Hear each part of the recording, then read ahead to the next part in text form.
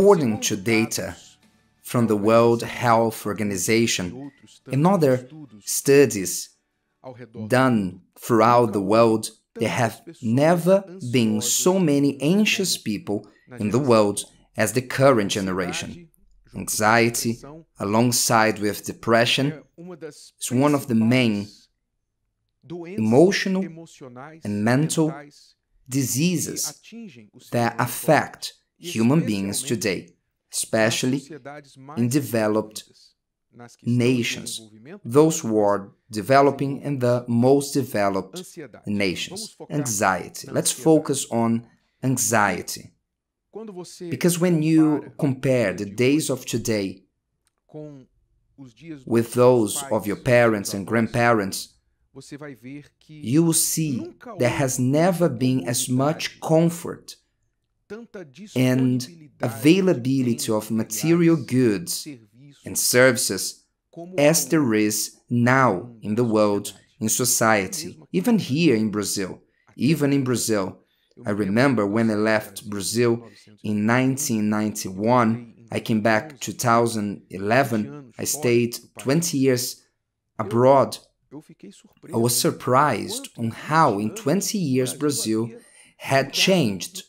I'm not saying that Brazil is a paradise, but compared to the Brazil I have left 20 years after, there were many things that there was not back on my days. Today, 2023, even more. And it's not only in Brazil. In every developed or developing countries, you can observe that in the last 10 or 20 years, a tremendous advance concerning the availability of goods and services. For example, the majority of people they have two, three, four, five pairs of shoes. I like to use this comparison because back on my days, whether you had a very cheap shoes from one brand or the other, you could have any color on those brands as long as it was black. Those who are from those days, you know what I'm talking about. You used to go to the supermarket and there was not the abundance of brands that we have today, not even in the best supermarkets. But nowadays there's so many options. I'm not saying that people have money to buy everything they want. I'm talking about the availability compared to our parents and grandparents, we are often more supplied than them, more served than them, and yet we are the most anxious generation the generation that complains the most that it doesn't have this or that. Why? Anxiety. You can verify that anxiety. We can identify three sources for anxiety. One of those is the one I'm talking about already. Many are anxious because they focus on what they don't have. When you focus on what you don't have, you despise and forget what you have. Anxiety comes from this feeling. I don't have that. I didn't manage to get that. I want that so much, but I don't have money for that. Mine is the old version. I want the newest one. When the person focuses on what they don't have, they forget what they have, then they become ungrateful, they become futile, someone who does not live in the moment. They are always living in tomorrow, later. What about tomorrow? What will happen? And they forget the moment. So be careful on focusing on what you don't have. Learn to focus on what you already have. I'm not saying you should settle down and have no ambition. No, I'm saying that the excessive care with what you don't have generates anxiety.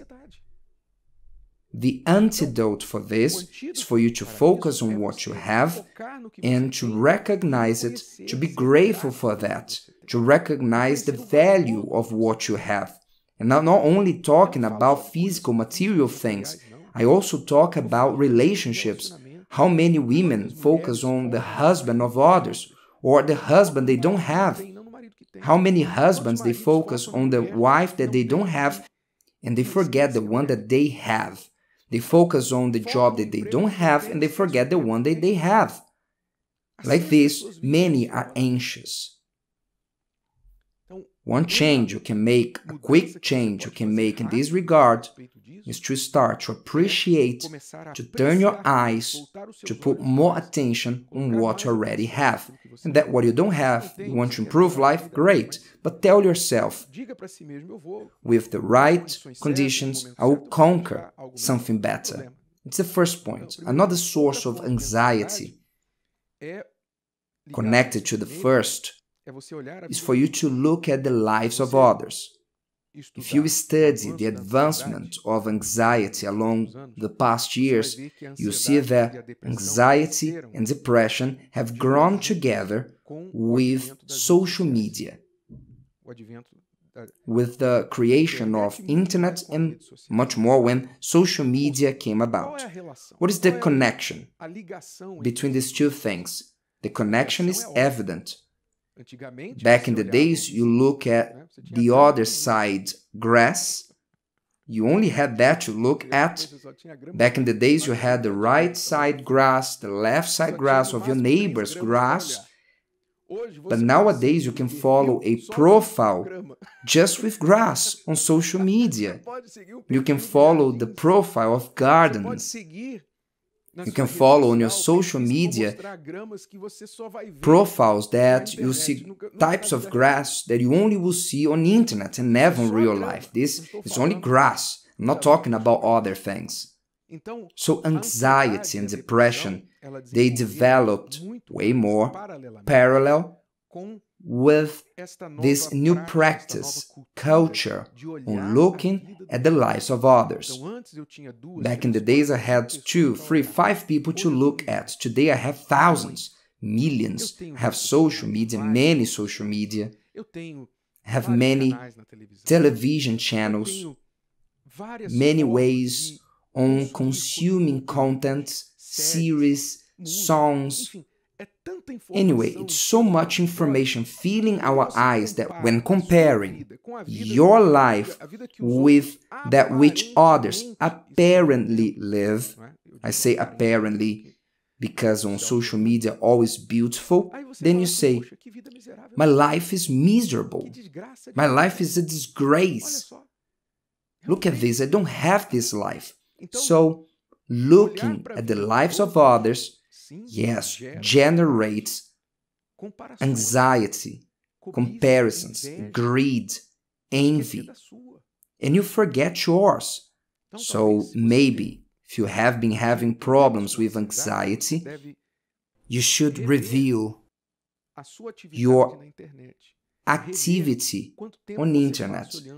How much time you spend looking, contemplating the lives of others consuming content that makes you unsatisfied and always frustrated, feeling the worst, that you not like the other person and desiring, craving for the life of that person. Maybe going to the hairdresser, desiring the hair of that person. You go to the shopping, to the store, desiring to buy the clothes of the celebrity. You're doing everything that your idols do, because these things become idols in our lives. And the third thing that generates anxiety is that the person does not know what to do about their situation.